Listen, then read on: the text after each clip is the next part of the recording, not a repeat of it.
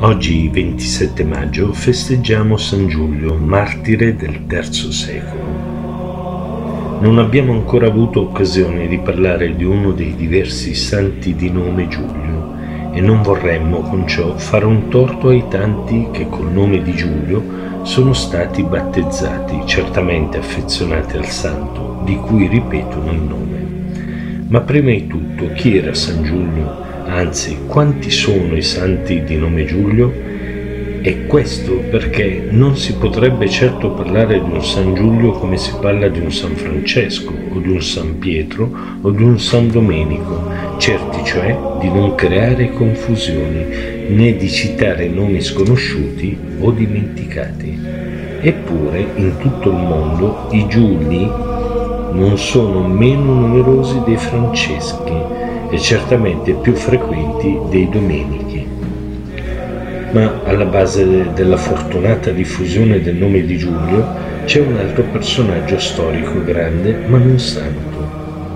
Questo personaggio, come si immagina, è il condottiero Caio Giulio Cesare, il fondatore dell'impero romano, il conquistatore della Gallia, oltre tutti i suoi meriti storici, militari e politici, egli ha anche quello di aver lanciato due nomi che sono diventati presto popolari, Giulio e Cesare. Ma teniamoci ai santi, anche se questa volta il loro nome rimane nell'ombra di un uomo politico, e di santi di nome Giulio ce ne sono otto, tutti combattenti vittoriosi, come Giulio Cesare, cioè tutti martiri, meno uno che fu papa, primo di una breve serie di tre succedutisi in dodici secoli sul trono pontificio.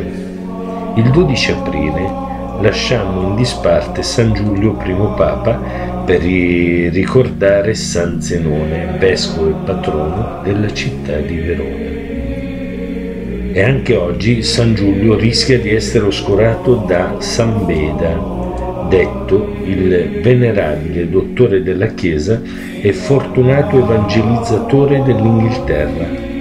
Del popolo inglese egli scrisse anche la prima accuratissima storia e fu uno degli uomini più attivi e più colti del suo tempo nel suo paese. Oltre che nei calendari, il suo nome ha perciò un posto importante anche nella storia dell'Inghilterra e della sua letteratura.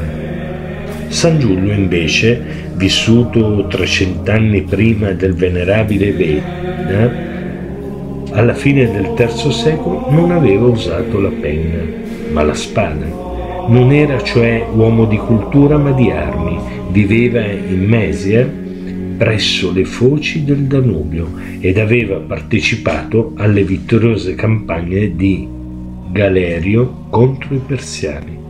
Poi lo stesso Galerio, fatto imperatore, aveva iniziato una persecuzione che mieté per i granai celesti larga messe tra i cristiani della Mesia.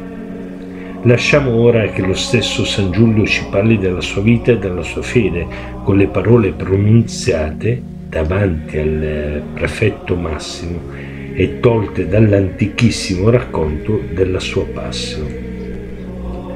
Ho servito nel vostro esercito per 26 anni e non sono mai stato portato davanti al giudice come disonesto o litigioso. Sette volte sono stato in guerra e non sono rimasto dietro a nessuno. Come non mi sono mostrato inferiore a nessuno nelle battaglie. Il capitano non mi ha mai sorpreso in fallo, eppure tu pensi che io, dopo essere stato fedele in così e in cose di minore importanza, possa dimostrarmi infedele in quelle tanto più alte? A tempo debito ho lasciato la milizia e ora sono un veterano. Temendo Dio, che ha creato il cielo e la terra, l'ho sempre adorato e adesso dimostro la mia sottomissione a Lui. Sono cristiano e non posso dire di me altro che io non sia. Non ignoro gli editti che ordinano di sacrificare agli dei, ma sono cristiano e non posso fare ciò che da me si vuole. Non è necessario che io rinneghi il Dio vivo e vero, perciò ti chiedo, giusto Presidente, di fare ciò che tu pensi per la sicurezza dei tuoi re e di emettere una sentenza contro di me, così che i miei desideri siano compiuti.